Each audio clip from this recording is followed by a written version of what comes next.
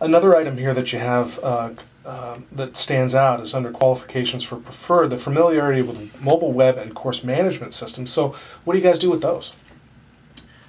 Well, we are moving as SJSU has uh, embraced a course management system across all campus.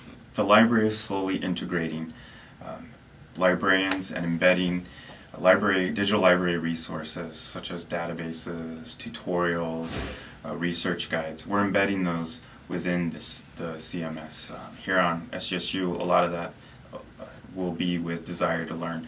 Um, but that also requires a familiarity, and who has a better familiarity with the CMS experience than a SLIS student who uh, sort of on the receiving end of that. We use, we're starting to use Elluminate um, now in our workshops where we meet with students. Um, so you know you're familiar with Elluminate, you know, and it's just coming up with creative ideas how to use this software that people are already, or these applications, or hardware, or anything that people are already really familiar with.